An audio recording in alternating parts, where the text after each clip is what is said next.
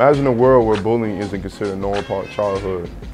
A world where you are not afraid to go to school, to turn on your phone, or walk to your locker.